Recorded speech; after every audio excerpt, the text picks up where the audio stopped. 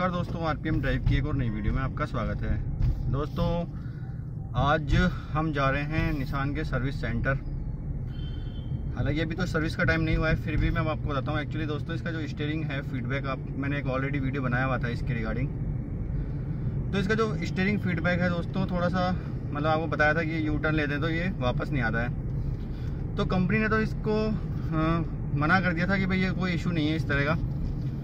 जबकि दोस्तों, ये, कोई कह रहा है ये मैन्युफैक्चरिंग डिफेक्ट है, कोई कह रहा है कोस्ट कटिंग है। तो दोस्तों, मुझे जो लगता है वो ये है कि ये कोस्ट कटिंग का ही पार्ट है एक्चुअली क्योंकि मैंने, अभी मारुति की भी कुछ गाड़ियाँ देखी हैं, जैसे वैगनार हो गई।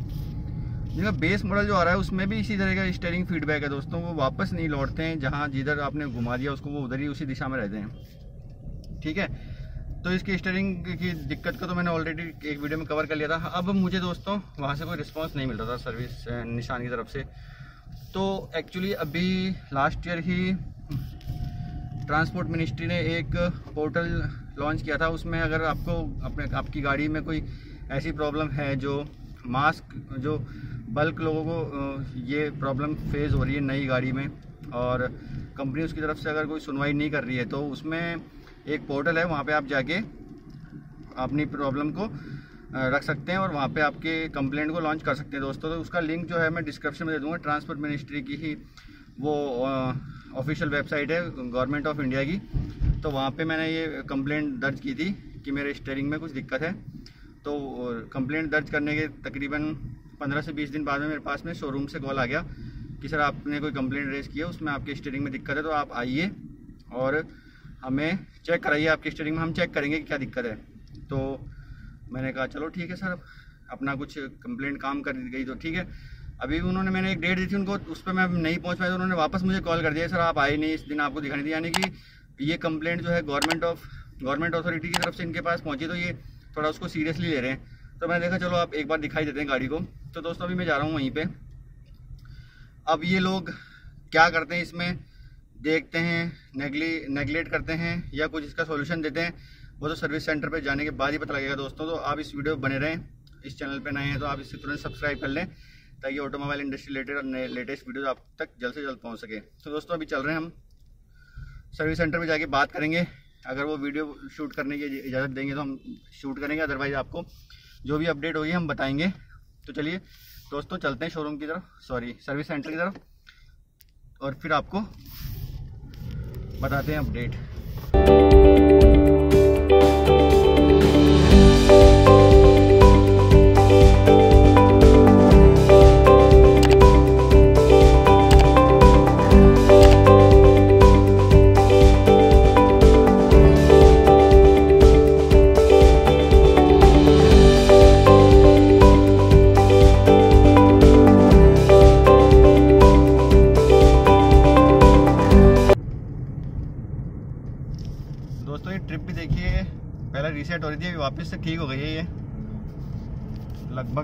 लगभग तेईस,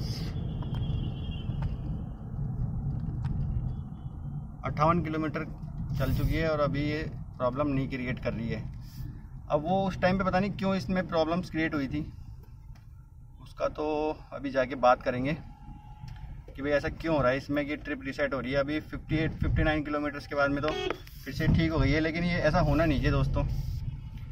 मुझे कुछ कमेंट्स भी आए प्रीवियस वीडियो पे कि इसमें कुछ प्रॉब्लम्स हैं जो ड्राइवर है, उसमें भी ये प्रॉब्लम थी और उसी के पार्ट इसमें लगाए गए हैं। तो उस वजह से उसमें भी गाड़ी में ये प्रॉब्लम थी, उसके बाद में उसमें कुछ उन्होंने उसको प्रॉब्लम को सही किया था, कुछ रिकॉल करके गाड़ियों को। तो बात करेंगे उसमें इसमें कोई रिले विले का दिक्कत बता रहे थे वो, कि बैटरी से कुछ वायर हटा के और वापस से उनको जोड़ें। तो इस तरह का कुछ बताया था उन्होंने। देखते हैं अभी कि क्या रहता है। सर्विस सेंटर पे जाते हैं, फिर बात करते हैं।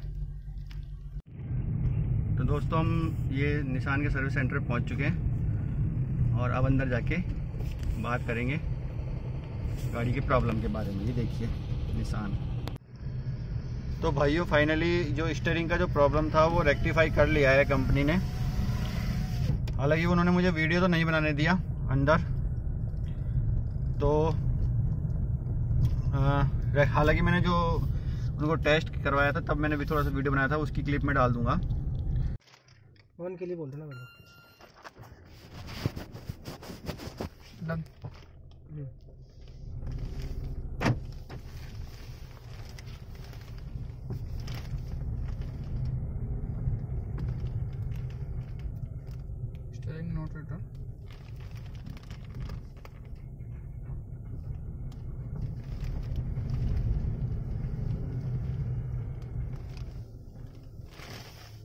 ऊपर से बहुत रह गए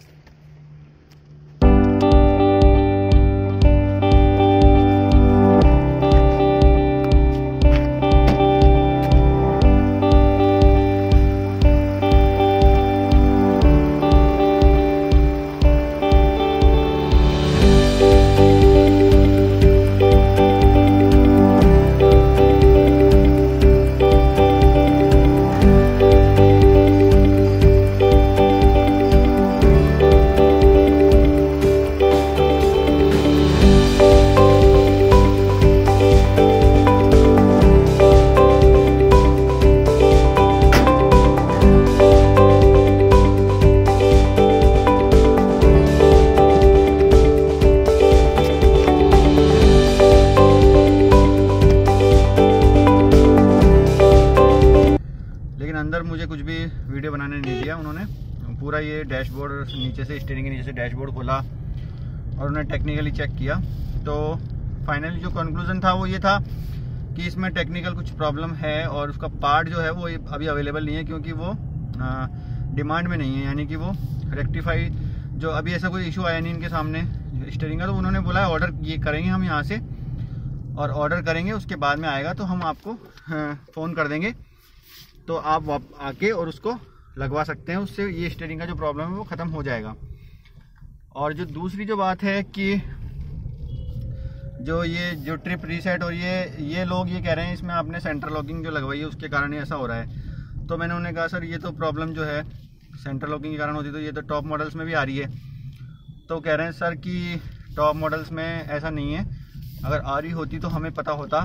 दूसरी चीज़ ये कि आपने इसमें सेंटर लॉकिंग लगाई, अभी मैं ये प्रॉब्लम अगर मैं रेक्टिफाई करूँगा और मैं जिस कंडीशन में अभी आपकी गाड़ी है, उसको अगर मैं इमेजेस वगैरह लेके और अगर कंपनी भेजूँगा तो वो वारंटी वॉइड कर सकते हैं आपकी, क्योंकि आपने बाहर आफ्टर मार्केट में एक्सेसरी लगवाई है तो वायरिंग की जो वारंटी है, वो वॉइड हो जाएगी। वो ये कह रहे हैं, इसको एक बार सेंटर लॉकिंग को हटवा लीजिए और फिर ये चेक कीजिए, अगर ये दिक्कत आती है तो फिर हम रेक्टिफाई कर देंगे, इसको सही करवा देंगे आपकी तरफ़ से। तो दोस्तों, इसका जो रिस्पॉन्स था वो ये था। ठीक है? अब मुझे लगता नहीं है दोस्तों ये कि सेंटर लॉकिंग से ऐसा दिक्कत आ रही है। वगैरह रेजिस्टेंस की प्रॉब्लम है जो कंपनी फिटेड जो एक्सेसरीज आती है, उसमें रेजिस्टेंस जो होता है, वो थोड़ा कम होता है उस वजह से और इसमें थोड़ा ज़्यादा होता है। रेजिस्टेंस तो वो करंट जो होता है, वो पूरा सप्लाई नहीं हो पाता उसकी वजह से रीसेट हो जाता है। अब दोस्तों, इसमें क्या सच्चाई है, क्या नहीं, वो तो भगवान ही जाने। लेकिन अभी इस प्रॉब्लम का रिजोल्यूशन मेरे पास में इन्होंने नहीं दिया है।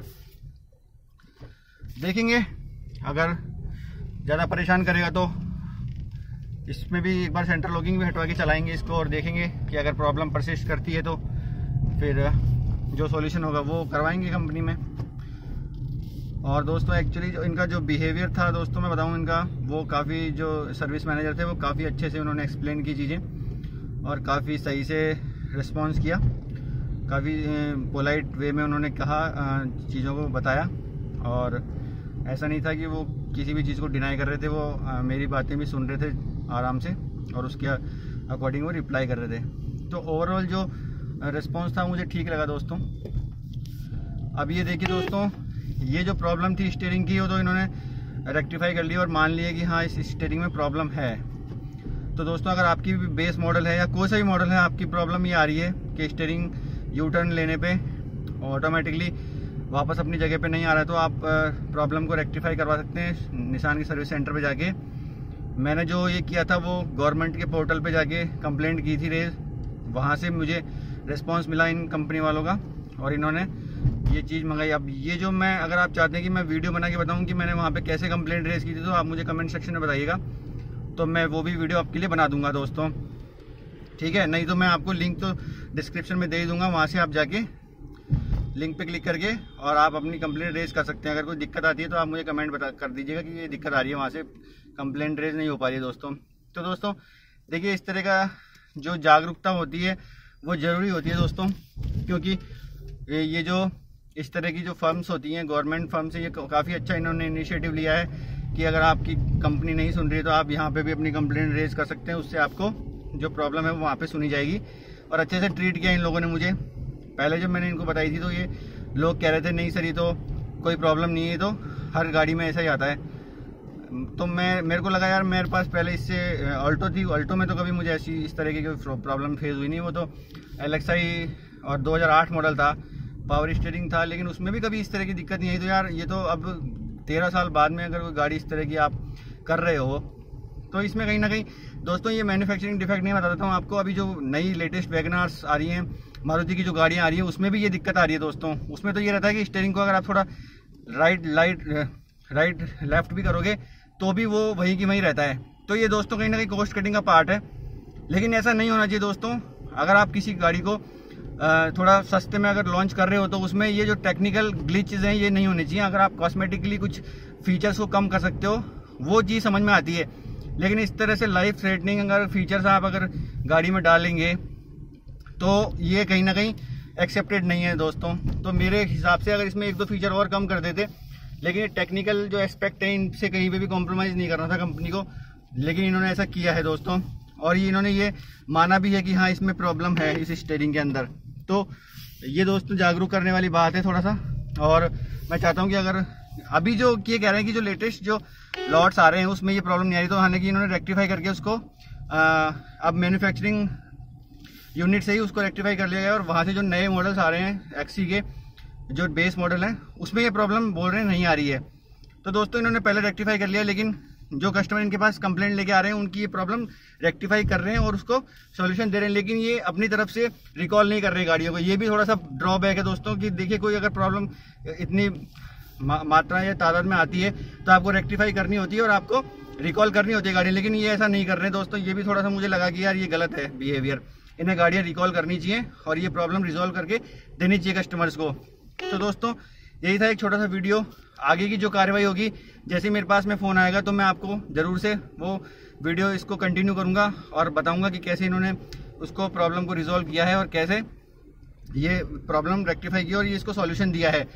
दोस्तों तो ठीक है दोस्तों, आप नेक्स्ट पार्ट का आप इंतज़ार कीजिएगा। मेरे पास अगर जैसे ही कॉल आता मैं वीडियो बनाऊँगा और आपको इसका अपडेट दूँगा दोस्तों। तो चलिए दोस्तों, मिलते हैं ऐसे किसी वीडियो में। तब तक के लिए बाय बाय धन्यवाद। जय हिंद, जय भारत।